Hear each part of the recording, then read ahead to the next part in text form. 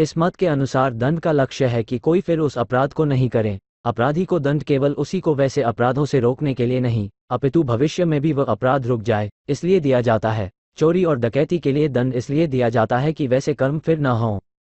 इसके अनुसार दंड देने से अपराध का निवर्तन होता है अर्थात रुक जाता है।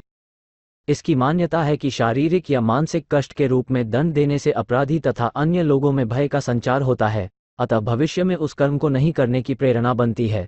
इससे अपराधी तथा समाज के अन्य लोगों को उस अपराध को नहीं करने की प्रवृत्ति उत्पन्न होती है। अतः निवर्तनवाद के अनुसार दंड अपराधी को तथा अन्य लोगों के लिए एक दृष्टांत तथा शिक्षा का कार्य करता है। इस मत के अनुसार मृत्यु दंड वर्जित नहीं है।